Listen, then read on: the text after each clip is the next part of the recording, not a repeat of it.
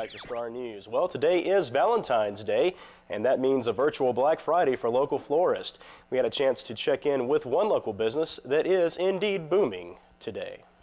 It's big business for florists. Star News spoke with one local business owner who says this year is even busier than normal.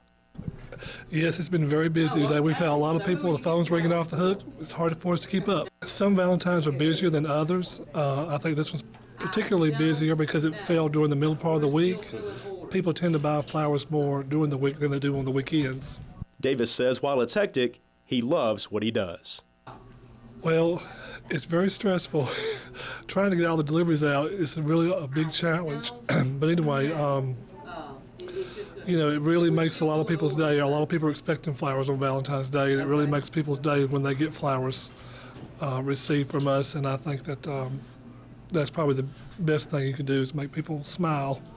Simply the Best has extra help on hand to get through the rush this week, including part-timers who are working full-time and more delivery drivers on the road to ensure those special Valentine's gifts are delivered on time.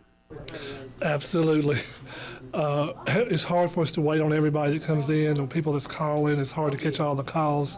There's just not enough people and phone lines for the people that come in. But, you know, it's just one day a year.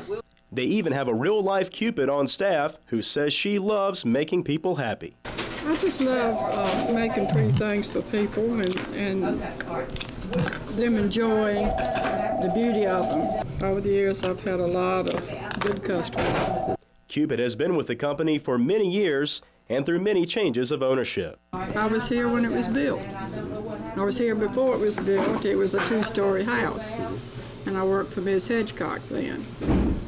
And uh, then she tore down the old building and built the new building. That's the same building we're in now. And for those out there who need help finding that special gift, Cupid has some great advice. Women always love roses.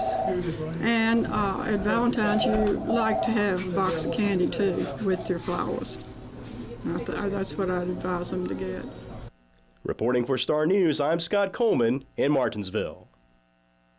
Stay tuned, folks. We'll have a special edition of our crime report coming up right after this brief break.